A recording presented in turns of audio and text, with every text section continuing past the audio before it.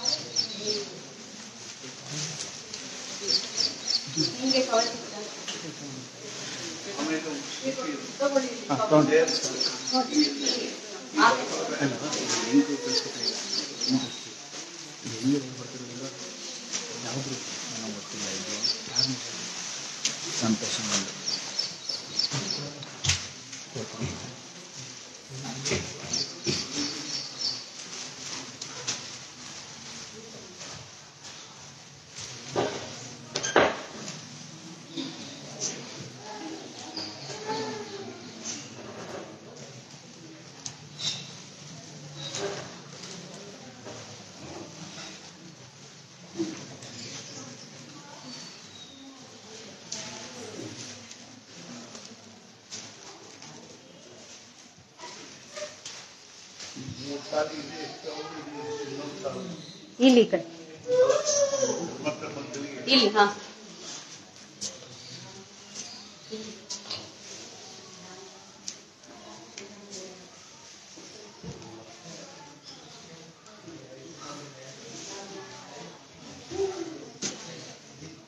ब्रह्मा गुरुर्विष्णुः गुरुर्देवो महेश्वरः गुरुः साक्षात् परब्रह्म तस्मै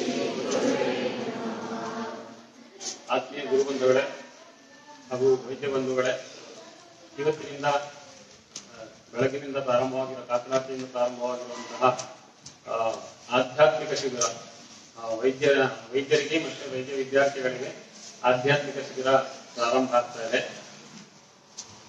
ಆತ್ಮನೋ ಮೋಕ್ಷಾಯ ಜಗದ್ಹಿತಾಯ ಅನ್ನೋ ಕಾನ್ಸೆಪ್ಟ್ ಇಟ್ಕೊಂಡು ಗುರುಗಳು ಪ್ರಾರಂಭ ಮಾಡ್ತಾ ಇರುವಂತಹ ಈ ಕಾರ್ಯಕ್ರಮ.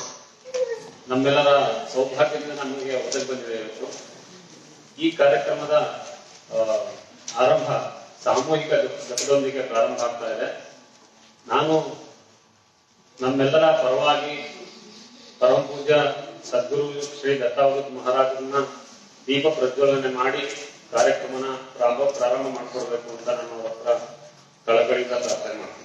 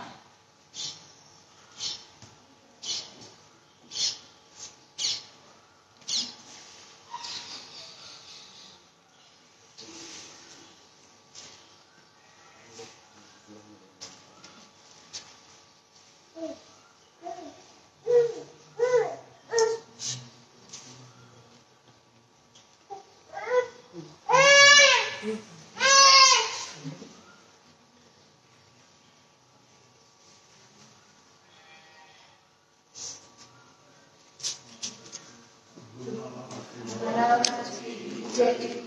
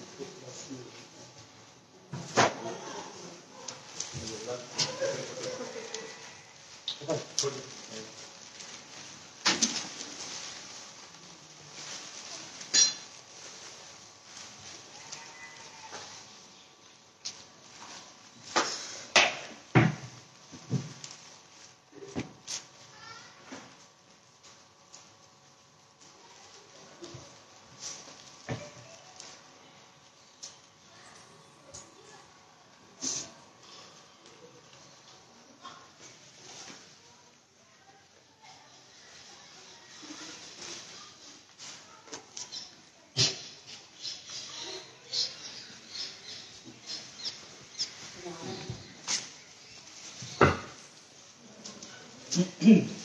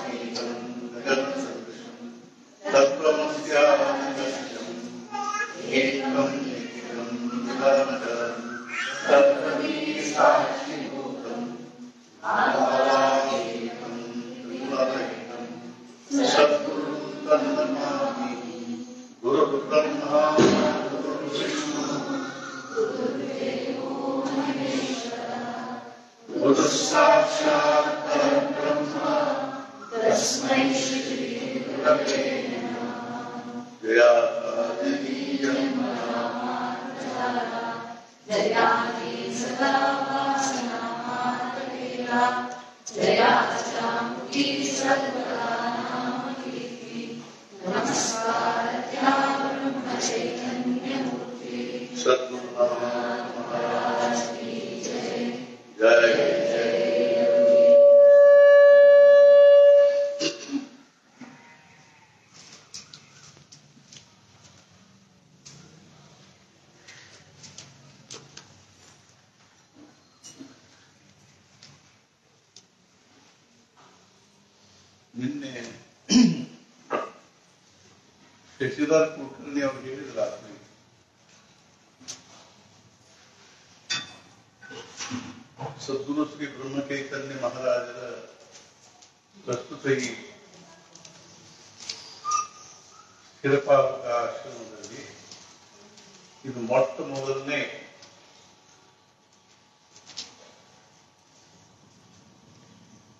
ಯೋಜನೆ, ಸಾಧನೆ, ಪ್ರಯತ್ನ.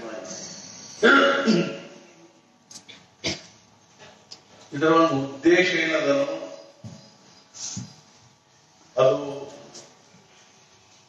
ಭಗವತ್ ಪ್ರೀತ್ಯರ್ಥವಾಗಿ, ಸದ್ಗುರು ಪ್ರೀತ್ಯರ್ಥವಾಗಿ ಮತ್ತು ಸರ್ವೇ ಜನ ಸುಖಿನೋ ಭವಂತು, ಸರ್ವೇ ಸಂತು ನಿರಾಮಯ ಸರ್ವೇ ಭದ್ರಾಣಿ ಪಶ್ಯಂತು.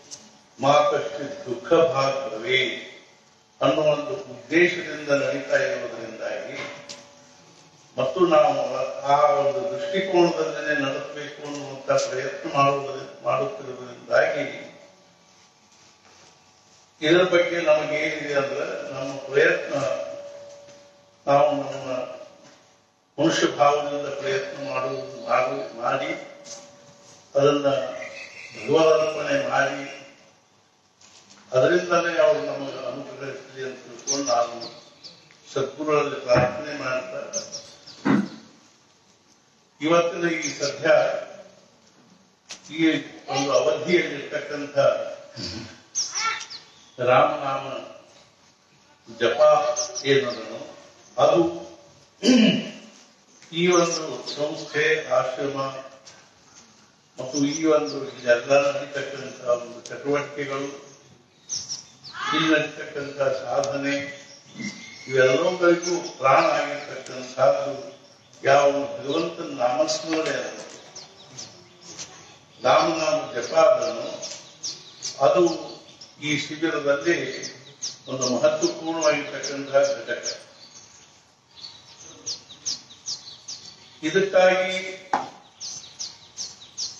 ಭಗವಂತ ಸ್ವತಃ ಮಾರುತಿ ಅಂಶತಃ ಅವತಾರ ಮಾಡಿ ಬಂದು ಆ ಭಗವಂತನ ನಾಮದ, ರಾಮನಾಮದ ಒಂದು ಮಹತ್ವವನ್ನ ಸಮಾಜದಲ್ಲಿರ್ತಕ್ಕಂಥ ಆಧ್ಯಾತ್ಮಿಕ ಜಿಜ್ಞಾಸುಗಳು ಸಾಧಕರು, ಮುಮುಕ್ಷುಗಳಿಗೆ ಅದರ ಮಹತ್ವವನ್ನು ತಿಳಿಸಿಕೊಡ್ಬೇಕೆನ್ನುವಂತಹ ಭಾವನೆಯಿಂದ ಇಸ್ವಿಸನ್ ಹದಿನೆಂಟು ನಲವತ್ತೈದರಲ್ಲಿ ಮಹಾರಾಷ್ಟ್ರದ ಒಂದು ಚಿಕ್ಕ ಹಳ್ಳಿಯಲ್ಲಿ ಗೋತಾವಲೆ ಎನ್ನುವಂತ. ಅಲ್ಲಿ ಅವತಾರ ಮಾಡಿ ಬಂದು ತಮ್ಮ ಆಯುಷ್ಯದ ಕೊನೆವರೆಗೆ ಅವರು ದೇಹಧಾರಿಯಾಗಿದ್ದದ್ದು ಅರವತ್ತೆಂಟು ವರ್ಷ, ಹತ್ತು ತಿಂಗಳು, ಮೂರು ದಿವಸ.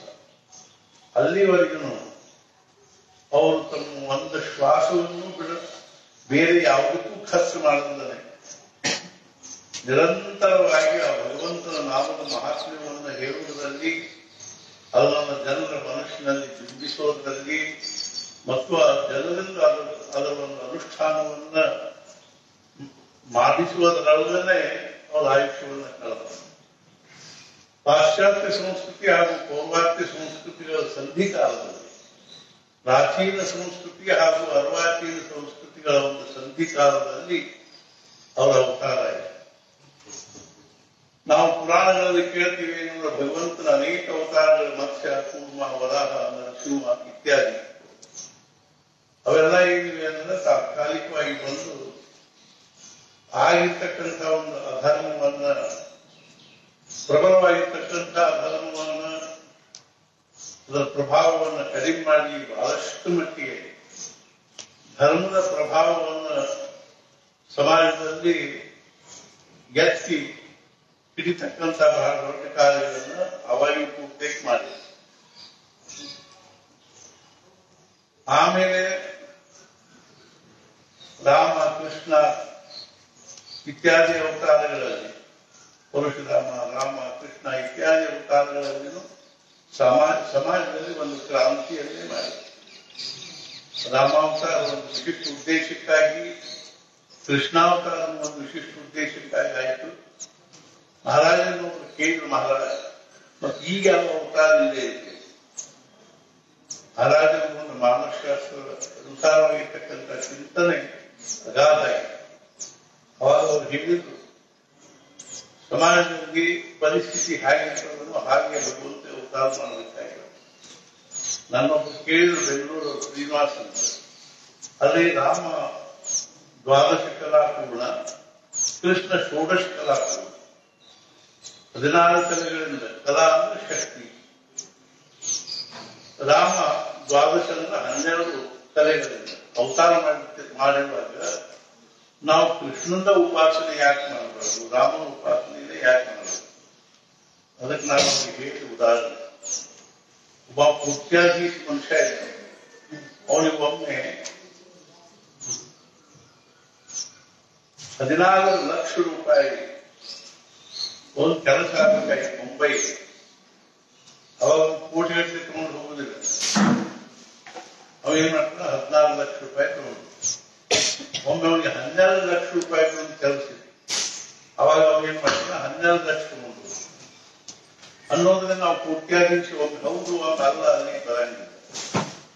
ಪ್ರಸ್ತುತ ಕೋಟ್ಯಾಧೀಶನೇ.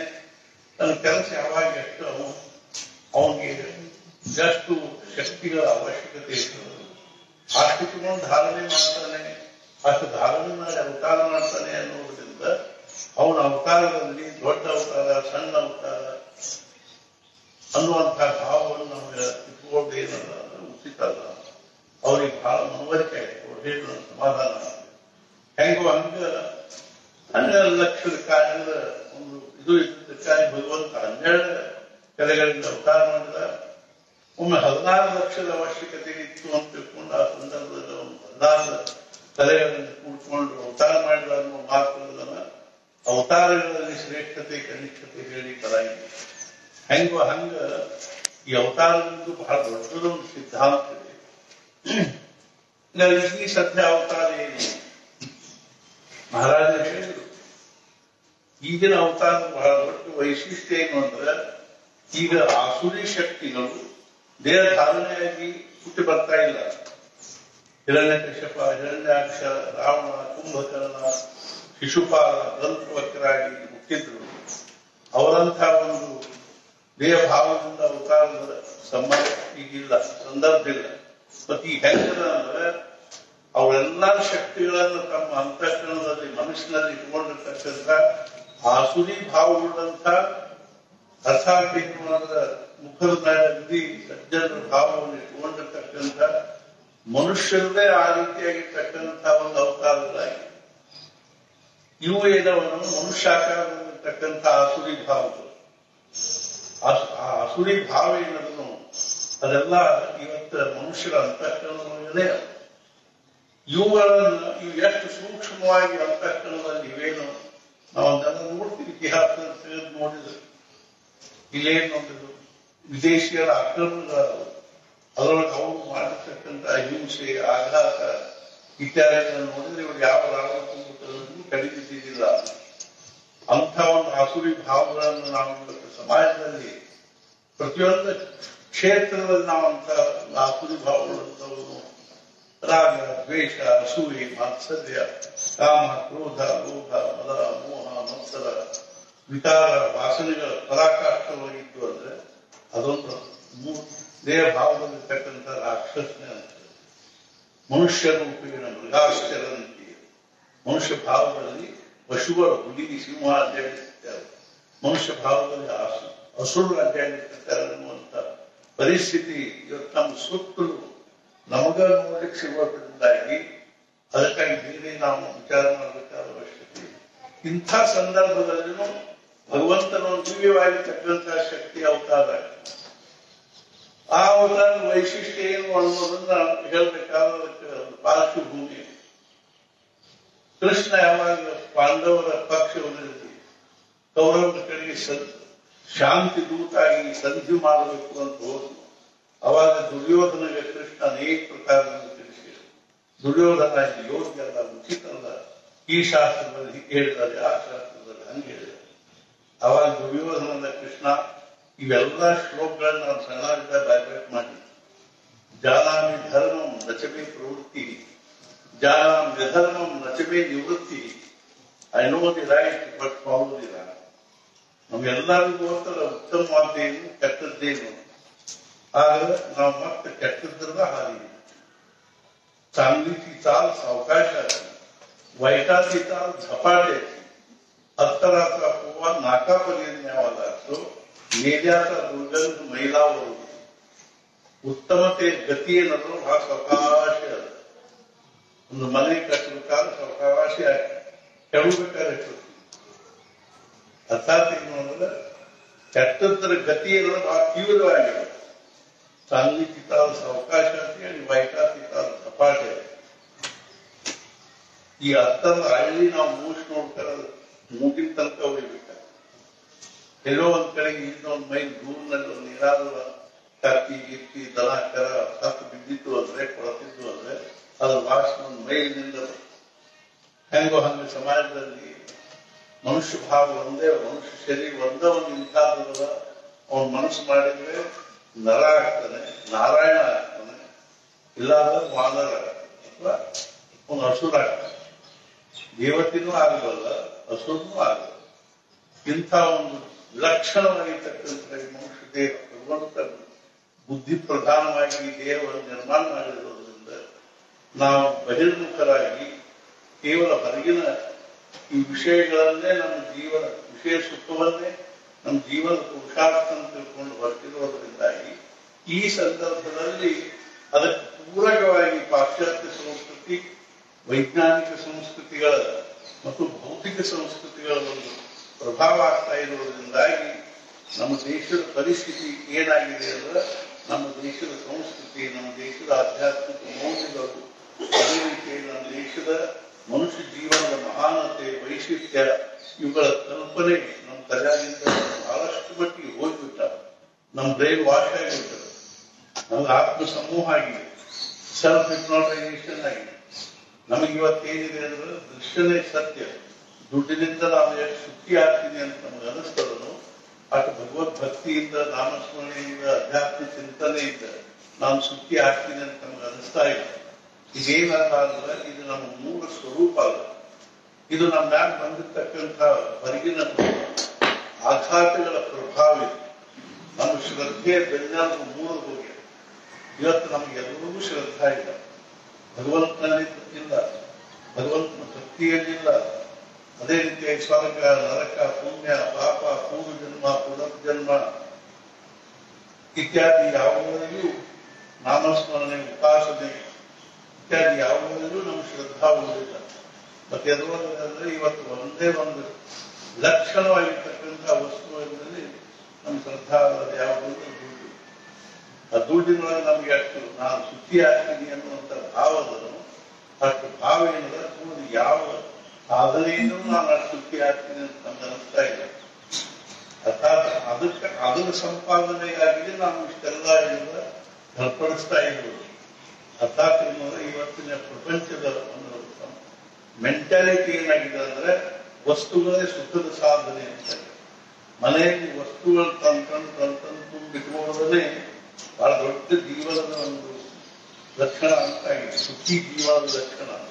ಅದು ನಾನು ಸಾಮಾನ್ಯವಾಗಿ ಹೇಳ್ತೀನಿ ಯಾರ ಮನೆಗಳಲ್ಲಿ, ಯಾರ ಮನೆಯಲ್ಲಿ ಸುಖಾನುಕೂಲತೆಯ ಸಾಮಗ್ರಿಗಳು ಎಷ್ಟು ಹೆಚ್ಚಿಗೆ ಇರ್ತಾವೋ, ಆ ಮನೆಯಲ್ಲಿರುವವರ ಸುಖಿ ಇಲ್ಲ ಯಾರ ಮನೆಯಲ್ಲಿ ಸುಖಾನುಕೂಲತೆಯ ಸಾಮಗ್ರಿಗಳು ಎಷ್ಟು ಕಡಿಮೆ ಇರ್ತಾವೋ, ಆ ಮನೆಯಲ್ಲಿರುವವರ ಸು- ಸುಖಿ ಇರ್ತಾರೆ ಜ್ಞಾನ is richest whose present of teachers ಯಾವ ಮನುಷ್ಯನಿಗೆ ಅಲ್ಲ ಸರ್ ಅಥವಾ ಚಟ್ನಿ ಬಸ್ರಿ ತಿಂದು, ಚಾಪಿ ಮೇಲೆ ಗಡದ ನಿದ್ದೆ ಹತ್ತಾಗಿದ್ರು ಯಾರಿಗೆ ಪಂಚ ಪಕ್ವಾನ್ ಓಂ ಗಾದಿ ಮೇಲೆ ಉಳ್ಳೆ ನಿದ್ದೆ ಹತ್ತಾಗಿದ್ರು ಚಾಪಿ ಮೇಲೆ ಗಡದ ನಿದ್ದೆ ಹತ್ತದನು ಅಂಥವನು ಏನ ನಿಜವಾಗಿರ್ತಕ್ಕಂಥ ಸುಖಿ ಮನುಷ್ಯ ಯಜ್ಞಾನಿಕ ಅವನು ನಿಜವಾದ ಶ್ರೀಮಂತ ಯಾರಿಗೆ ಪಂಚ ಪಕ್ವಾನ್ ಆಗಲಿ ಬೇಕರಿ ಒಳಗೆ ಇಷ್ಟ ತಿಂದು ಗಾದಿ ಮೇಲೆ ಅರ್ಥ ಮುಂಜಾನೆ ನಿದ್ದೆ ದರಿದ್ರ ಯಾರು ಭಾರತೀಯ ಸನಾತನ ವೈದಿಕ ಸಂಸ್ಕೃತಿಯ ಪರಂಪರೆಯಲ್ಲಿರ್ತಕ್ಕಂಥ ಋಷಿ ಮುನಿಗಳಲ್ಲಿ ಸಾಧು ಸಂತರಲ್ಲಿರ್ತಕ್ಕಂಥ ಬಹಳ ದೊಡ್ಡ ವೈಶಿಷ್ಟ್ಯ ಏನು ಅಂದ್ರೆ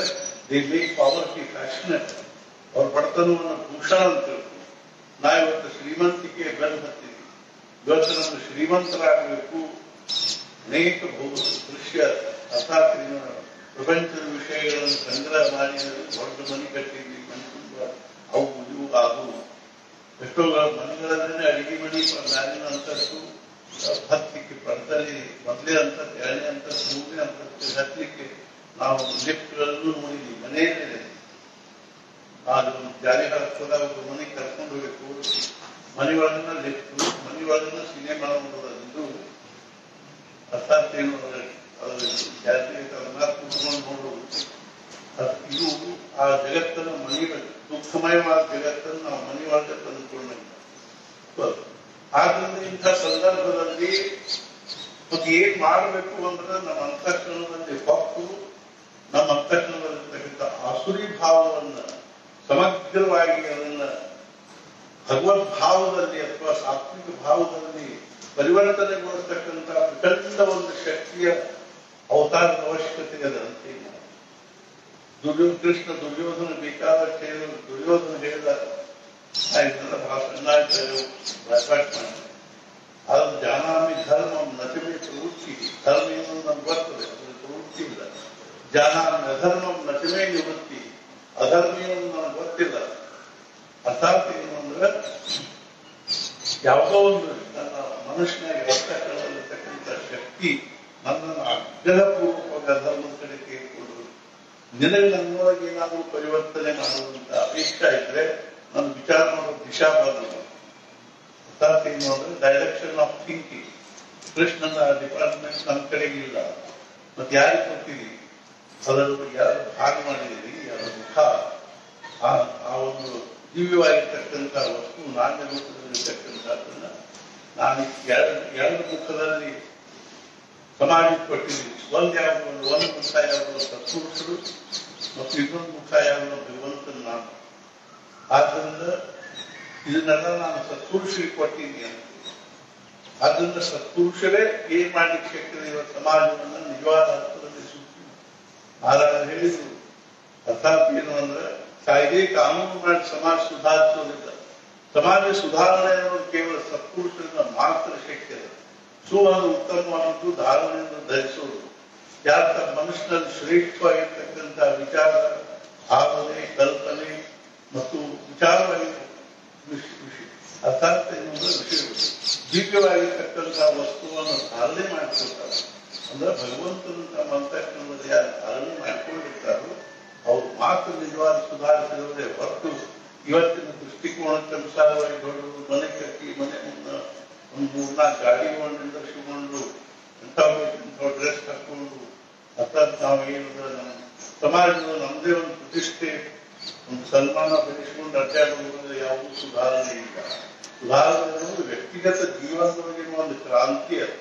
ಯೋಜನೆ ರೆವಲ್ಯೂಷನ್ ಇಲ್ಲ ರೆವಲ್ಯೂಷನ್ ಅದು ಕೇವಲ ಸತ್ಪುರುಷರಿಂದ ಮಾತ್ರ ಶಕ್ತಿ ಅನ್ನೋ ದೃಷ್ಟಿಯಿಂದ ನಾವು ಮುಖ್ಯವಾಗಿ ನಮ್ಮ ವಿದ್ಯೆ, ನಮ್ಮ ಶಿಕ್ಷಣ ನಮ್ಮ ಒಂದು ವೈಶಿಷ್ಟ್ಯಗಳನ್ನ ನಾವು ನಮ್ಮ ಜೀವನದ ಸಾರ್ಥಕತೆ ಜೊತೆಗೆ ಸಮಾಜದಲ್ಲಿ ಯಾವ ಒಂದು ಭೌತಿಕವಾದ ವೈಜ್ಞಾನಿಕ ಸಂಸ್ಕೃತಿ, ಭೌತಿಕ ಸಂಸ್ಕೃತಿ ಪಾಶ್ಚಾತ್ಯ ಸಂಸ್ಕೃತಿಯ ಪ್ರಭಾವದಿಂದ ಇವತ್ತು ಸಮಾಜ ತತ್ತರಿಸಿ ಹೋಗ್ತಾ ಇದೆ ಚಂದ್ರಶೇಖರ್ ಭಾರತೀಯ ನಾವು ಒಂದು ಪ್ರವಚನ ನೋಡಿದ್ರೆ ಒಂದು ಆಶ್ಚರ್ಯ. ಎಷ್ಟರ ಕರ್ತವ್ಯದಿಂದ ಹೇಳಿ, ಇದರಿಂದ ಮನುಷ್ಯ ಜೀವನ ಸುಖಿ ಆಗಲಿಕ್ಕಿಲ್ಲ ಮನುಷ್ಯ ಜೀವನ ಸುಖಿ ಆಗಬೇಕಾದ್ರೆ ನಾವು ಭಾರತೀಯ ಸಂಸ್ಕೃತಿಯ ಕಡೆಗೆ ನಾವು ನೋಡಬೇಕು.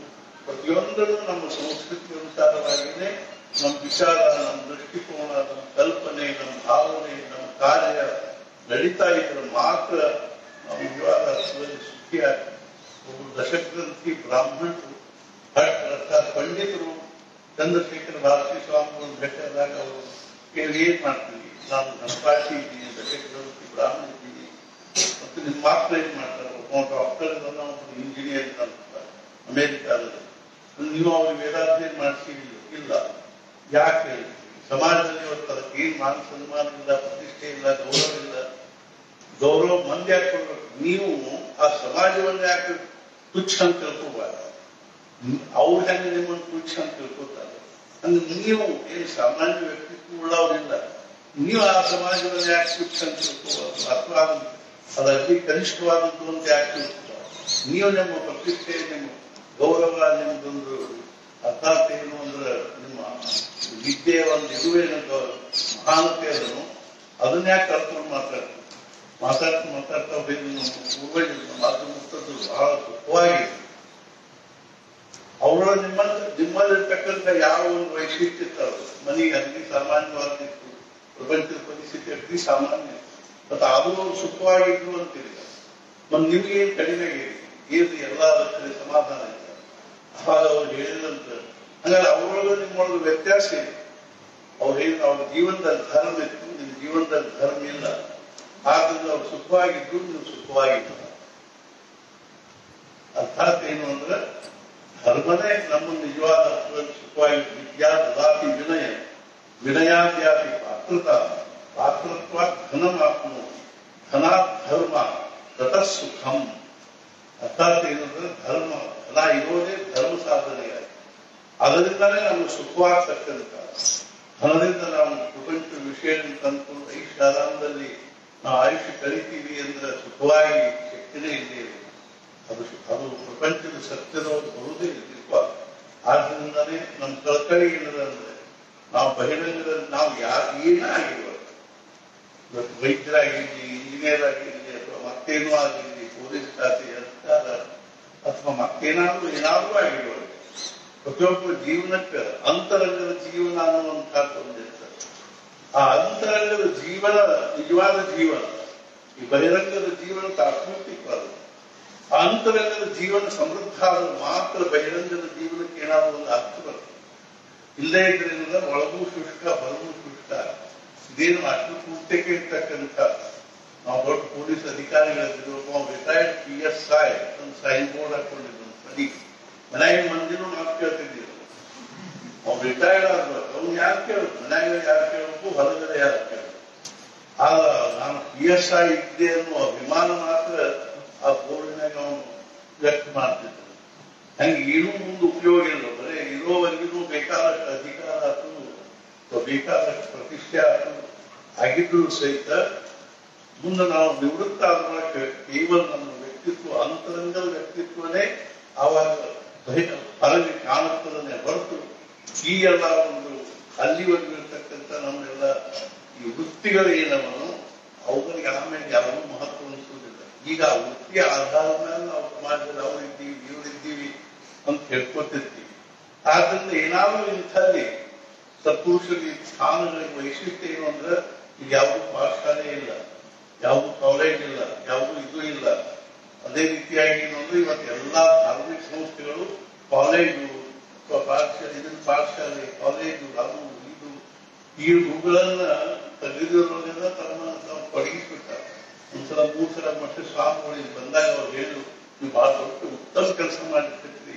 ನೀವು ಯಾವ ಶಾಲೆ ನಡೆಸಕತ್ತಿಲ್ಲ ಕಾಲೇಜ್ ನಡೆಸಕತ್ತಿಲ್ಲ ನಾವು ಅಲ್ಲಿ ಏನ್ ಮಾಡ್ತೀವಿಲ್ಲ? ಹುಡುಗರಿಂದ ಬಯಸ್ಕೋತೀವಿ ಮಾಸ್ತರಿಂದ ಬಯಸ್ಕೋತೀವಿ ಮತ್ತು ಅವ್ರ ಪಾಲಕರಿಂದನೂ ಬಯಸ್ಕೋತೀವಿ ಆದ್ರಿಂದ ನೀವು ಬಹಳ ದೊಡ್ಡ ಕೆಲಸ ಮಾಡಿ ಒಂದು ಮಂತ್ ಕಾಲೇಜ್ ಗ್ರೌಂಡ್ನಲ್ಲಿ ಐದು ದಿವಸ ತುಳಸಿ ರಾಮಾಯಣ ಹೇಳಿ ಅದು ನಾವು ಲಿಂಗಾಯತರು ಬರ್ತಿದ್ರು, ಅವ್ರು ಹೋಗಿ ಹೇಳಿದ್ರು, ಅವ್ರಿಗೆ ಬಹಳ ಚಲೋ ಸರಿ. ಯಾರಿಗೂ ಏನೂ ಅವ್ರ ಜಾತಿ ಪಾತಿ ಏನೂ ಒಂದು ಶಬ್ದ ಸರಿ ತೆಗೆದಿಲ್ಲ ಅಂತ ಅವ್ರು ಭೇಟಿಯಾಗಿ ಅದು ಉತ್ತಮ ಕೆಲಸ ಮಾಡಿರ್ತೀರಿ ಹಿಂದೆ ನಡ್ಕೊಂಡು ಹೋಗಿ ದಯವಿಟ್ಟು ನನ್ನ ಕೈ ಹೇಳ್ತೀನಿ ಅಂತ. ನಮ್ಮ ಉದ್ದೇಶ ಇದ್ರೆ ಅದು ಹೆಂಗೋ ಹಂಗೆ ಏನದ ಅಂದ್ರೆ ಇದು ಕೇವಲ ಆಧ್ಯಾತ್ಮಿಕ ಒಂದು ಆಂತರಿಕವಾಗಿರ್ತಕ್ಕಂಥ ವಿಕಾಸವನ್ನು ಉಂಟು ಮಾಡ್ತಕ್ಕಂಥ ಕ್ಷೇತ್ರ.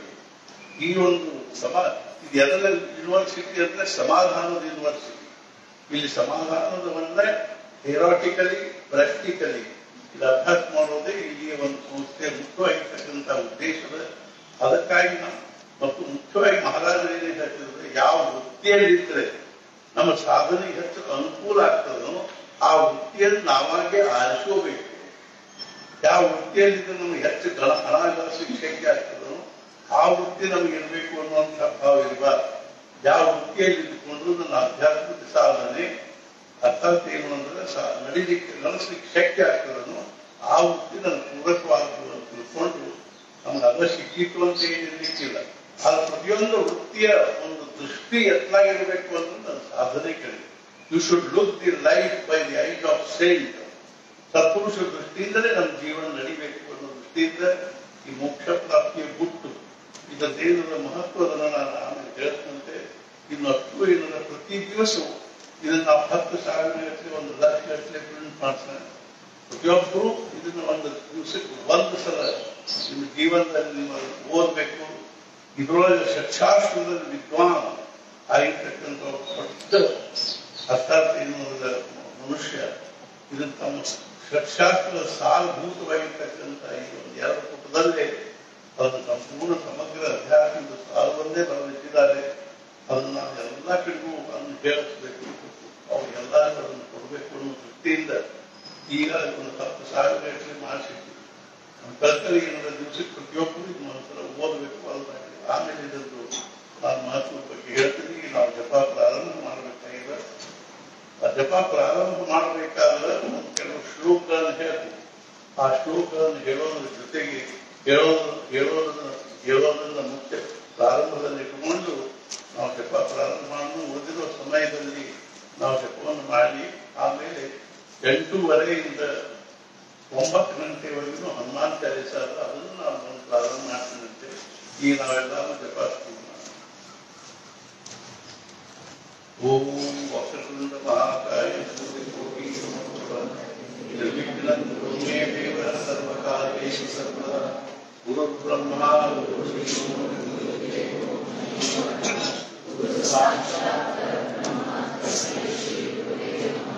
जया जन्मना जया